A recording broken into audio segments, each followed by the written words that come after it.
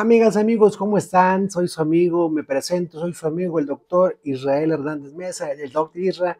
Muchísimas gracias por seguirnos en su canal El Doc Isra, donde hablamos meramente de medicina del trabajo, salud en el trabajo, seguridad social, que tienen que ver con el Instituto Mexicano del Seguro Social, el IMSS. El día de hoy vamos a ver, ya hemos hablado sobre qué hacer en una ST9 enfermedad de trabajo, aquí está el video, que tenemos que hacer una ST3, Ahora vamos a hablar qué tenemos que hacer en una ST4. Este dictamen que viene a ser el mayor dictamen que se expide en las oficinas de salud en el trabajo en el Instituto, Mexicano del Seguro Social es el dictamen que mayormente se, se expide, ya que es el dictamen que se da por enfermedad general. Muchísimas gracias a las personas que se asesoran con nosotros y que cada mes cada vez nos siguen más. Aquí están pasando nuestros teléfonos, el correo, con todo el gusto del mundo. En las quien quiere una asesoría, la agendamos. Seguimos cobrándole hace dos años por apoyo a ustedes. Con todo el gusto del mundo, mis amigos, los ayudamos, los apoyamos porque esto así es. Ya todos, la mayoría saben mi historia. Yo trabajé en el IMSS por un problema de salud. Soy pensionado y pues bueno, aquí estoy de esta manera apoyando, ¿sí? Con nuestro granito de arena. Amigas, amigos, el dictamen ST4, dictamen de invalidez por enfermedad general, es ST4. Ese dictamen, ¿qué es y qué dice la ley y cómo se determina y quién tiene derecho, cuánto pagan, cómo pagan y qué onda? Vamos a hablar todo. El ST4 en el IMSS es un ramo de aseguramiento en el Instituto Mexicano del Seguro Social que protege a la persona trabajadora cuando presenta un estado de invalidez. ¿sí? Dice la ley del Seguro Social que cuando la persona tiene una limitación físico, mental y ya no puede realizar sus actividades laborales por su enfermedad, ésta tiene derecho a un dictamen de invalidez. Muchas personas le llamamos pensión. Mi pensión por enfermedad general, mi pensión ST4, mi pensión esto. Pero en sí, el nombre real es dictamen de invalidez por enfermedad general ST4. Este dictamen también va a proteger a la familia en caso de defunción de la persona asegurada o en su momento de la pensionada o del pensionado, quien lo puede solicitar en el IMSS. Muy bien. Este dictamen, básicamente, yo siempre les he dicho que con este dictamen el asegurado tiene derecho a asegurar a sus señores padres, a su esposa, cónyuge. Recuerden que ya necesitamos hacer el juicio conyugal, ya no es antes, ah, de que yo vivo con tal persona, en unión libre, tengo más de seis meses un día, ok, ¿cómo se llama? Ya necesitamos lo que es un juicio conyugal o bien estar casados. Bien, a nuestros hijos hasta los 16 años y o hasta los 25 años de edad siempre y cuando estos estén estudiando. Se va a dar una cantidad económica. Esta cantidad económica, cómo se saca y qué porcentaje se da. Eh, uno de los requisitos, dentro de los requisitos, hablo porque se entrelazan, es lógicamente estar vigente, tener, eh, cumplir con el artículo 119 de la ley del Seguro Social, que es el estado de enfermedad, el estado patológico que en realidad el paciente se amerite este dictamen, porque hay mucha simuladora, mucho simulador que quiere, eh, pues ustedes ya lo saben, ya, ya le hemos platicado, ¿no? Que buscan este dictamen, que ya no quieren trabajar y que por cualquier cosa lo quieren buscar. Y pues no, simple y sencillamente no es tan fácil, ¿sí? Ya que hay varios filtros donde se detecta este tipo de personas, médicamente y administrativamente. Bueno, para solicitar este dictamen tienes que tener mínimo 250 semanas de cotización, ¿sí? Eh, estar vigente y lógicamente cómo vamos a comenzar la cadena. Si yo, Israel, soy un cardiópata, una persona enferma, ¿cómo comienzo yo mi rutina? Porque escuché ahí en YouTube a un barbón, hay un gordito barbón que habla de un dictamen de pensión que que yo me puedo pensionar si yo estoy enfermo de, mi corazón, si yo estoy enfermo de mis riñones, si yo estoy enfermo de mi cabeza, me da crisis convulsivas, si mi vista eh, ya es mala, tengo glaucoma, complicaciones de la diabetes, sin fin, un sinfín de enfermedades, ¿no? Recuerden que yo siempre ejemplifico conmigo por respeto a las demás personas para que nadie se nos sienta. Entonces, simple y sencillamente el camino es este, amigos, amigas. Vamos a ir con nuestro médico familiar, le vamos a exponer nuestro eh, sentir, nuestra enfermedad cuando comenzamos. El médico familiar nos va a mandar estudios de control de sangre y algún otro tipo de estudio de gabinete, como puede ser una radiografía de tórax, un electrocardiograma u otro tipo eh, parecido. Posteriormente nos va a referir a la especialidad requerida. Cardiópata, medicina interna, cardiología, una persona de los riñones, nefrología, cirugía, medicina interna, dependiendo la enfermedad, es a donde nos van a referir. ¿Por qué y para qué? Para que nos hagan un protocolo de estudio. Es mediante un método científico que se hace esto.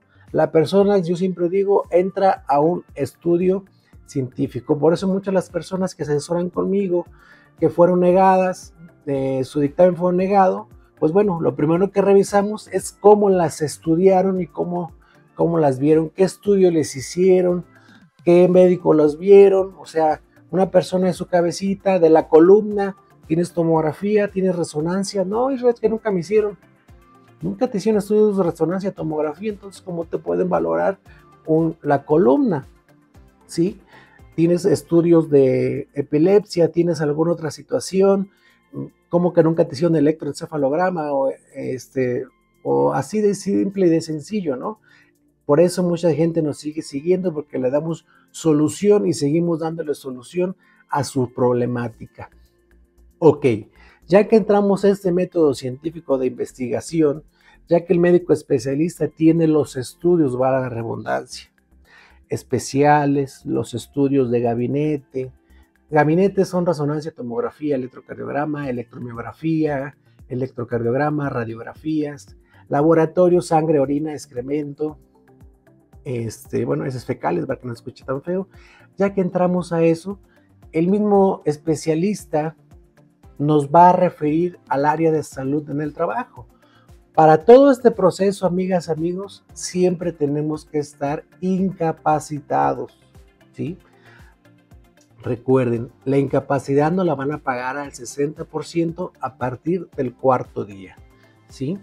Entonces, ya que es, ¿por qué? Porque es lógico. Yo, Israel, estoy buscando un dictamen de invalidez, una pensión, este, soy enfermo del corazón y es incongruente que siga haciendo mis actividades y que siga yendo y buscando, este, gestionando, digamos así, el dictamen, eh, buscándolo, eh, el dictamen de invalidez.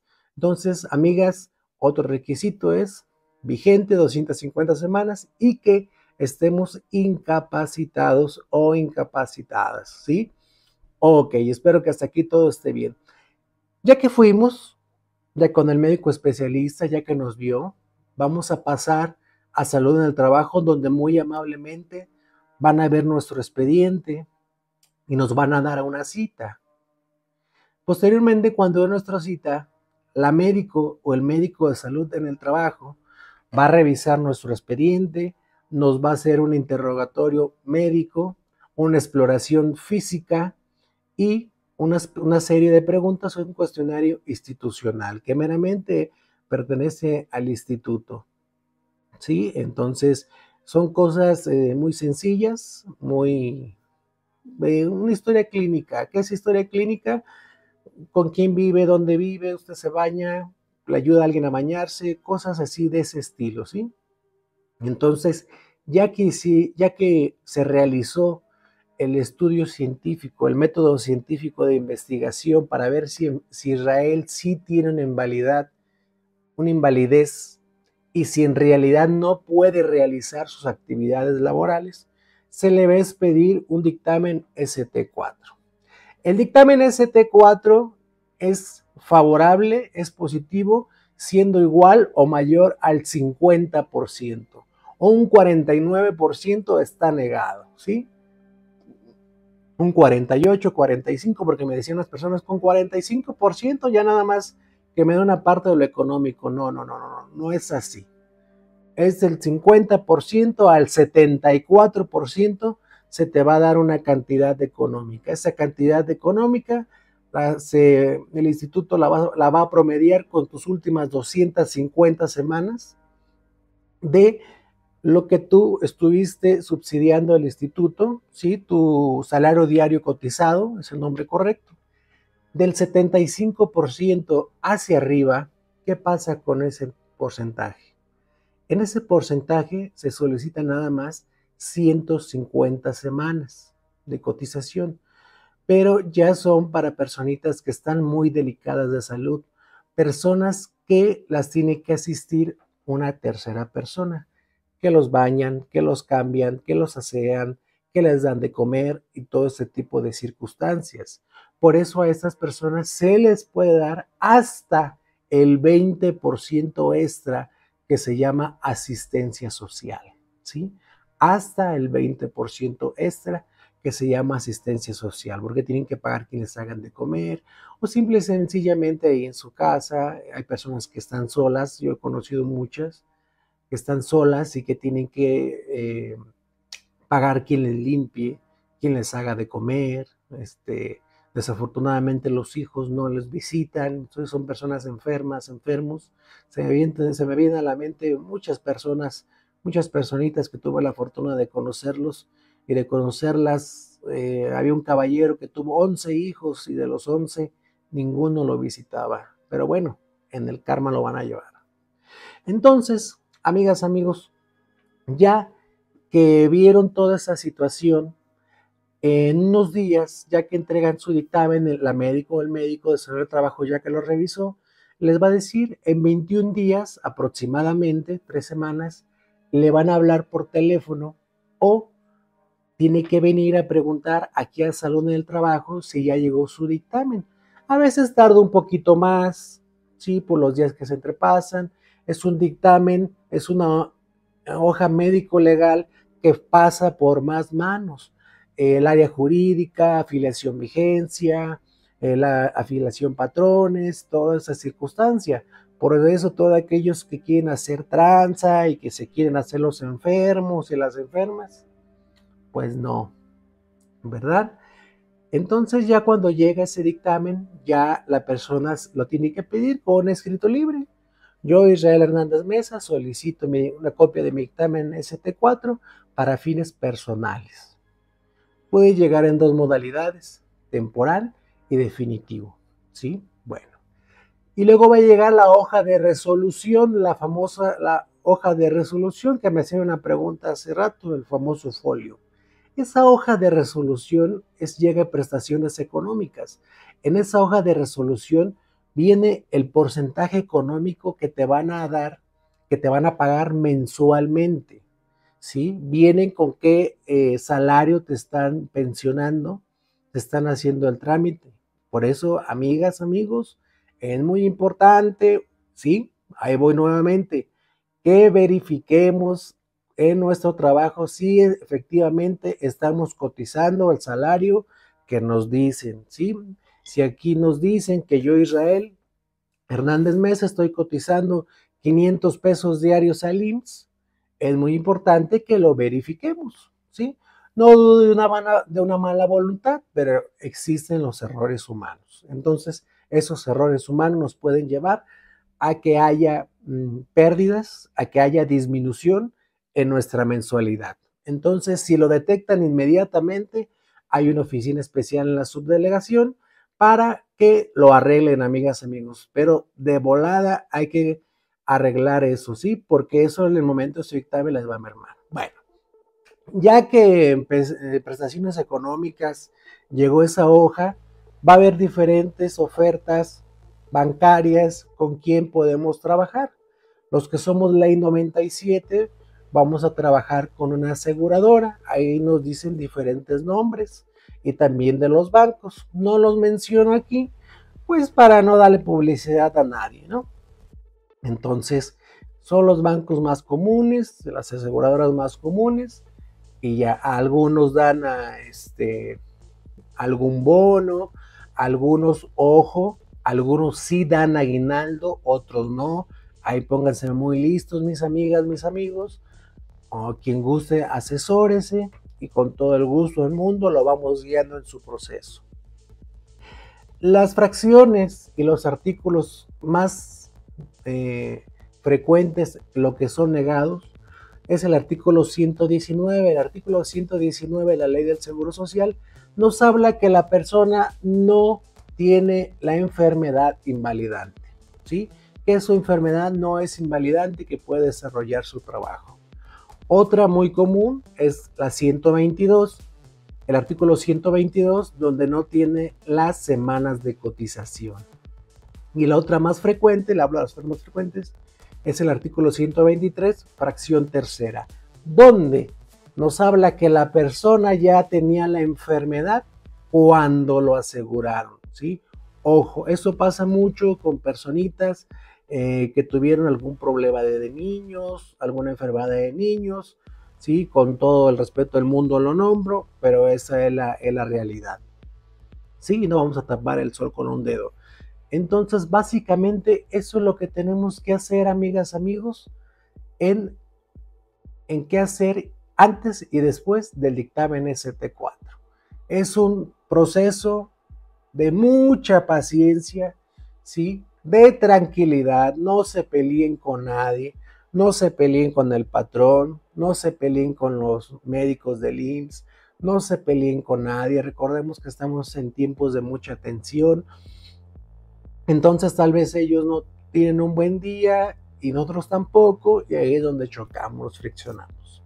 El no se peleen quiere decir que no se vayan a dejar tampoco de las injusticias, ¿no? Porque bueno, ahorita precisamente acabamos de redactar unos oficios del norte del país, uno de Sonora y otro de Nuevo León, donde qué bárbaros, qué bárbaros, Dios los perdone, pero bueno, unas injusticias tremendas. Pero para eso está su amigo Irra.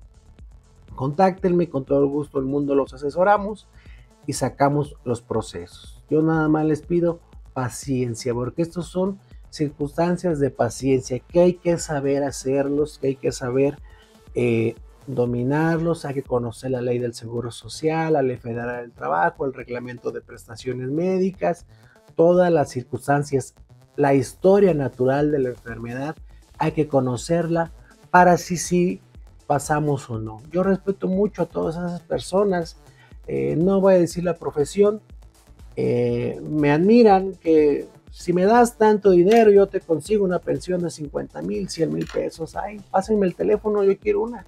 El doc quiere ser más interesado, órale, yo se los doy.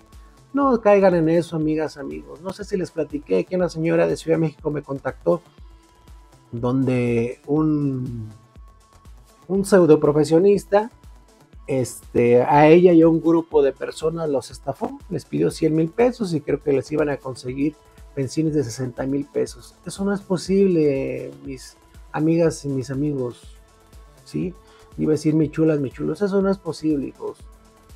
Pura lógica, cierta lógica. Si yo consigo eso, pues lo consigo a mi primo, a mi hermana, a mi mamá, paz, paz, paz, hago el negocio interno. ¿Ustedes creen que va a ser posible eso?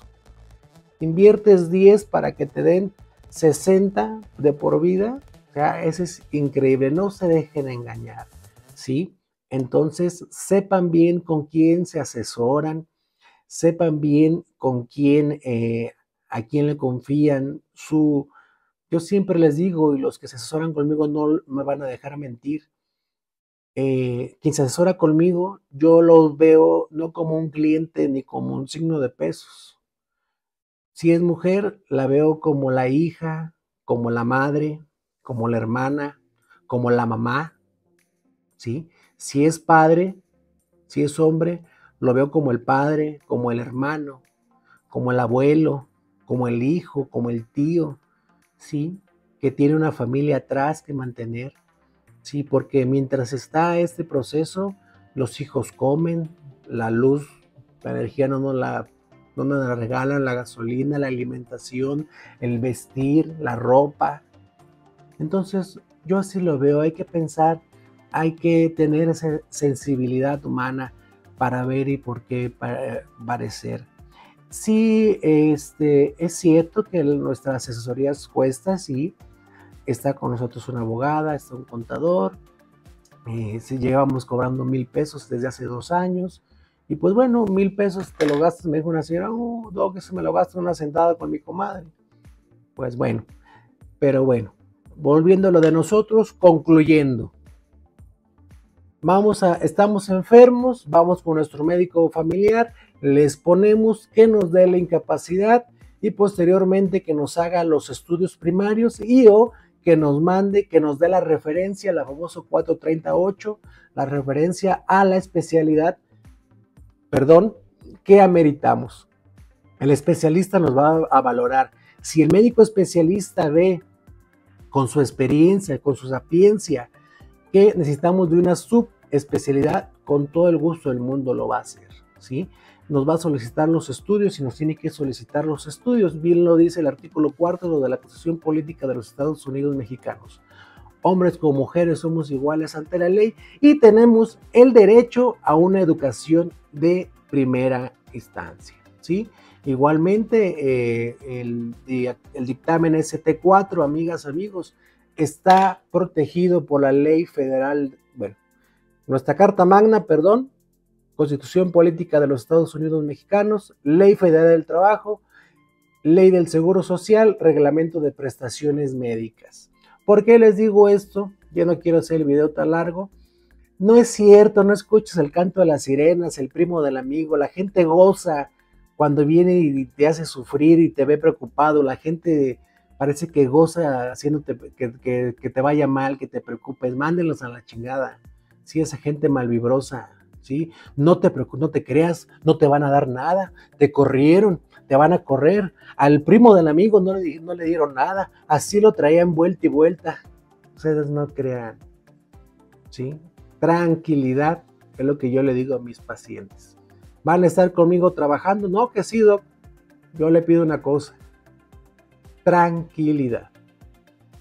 Y les explico con qué y cómo, por qué, desde la ley, tas, tas, desde su enfermedad, qué es su enfermedad, qué les produce su enfermedad, y todo la ley, paz, paz, paz, si se puede o no se puede, ¿sí? Entonces, así debe ser la circunstancia. Entonces, a toda esa gente mal vibrosa, ah, sí, muchas gracias. Eso lo explico para las personitas eh, que te van a correr del trabajo, que uff, el patrón se ve enojado. Los patrones no les perjudica nada el dictamen ST4 por invalidez. Es un derecho que tenemos, ¿sí? Todas y todos los trabajadores, porque todos somos humanos. El patrón se enferma, la patrona se enferma, el patrón se enferma también, igual que nosotros, ¿sí? Entonces, eh, el gerente, la gerente también se enferma, la jefa, el jefe también se enferma. Y lo he dicho muchas veces, a veces los gatos, nosotros los gatos nos creemos más que el mero mero.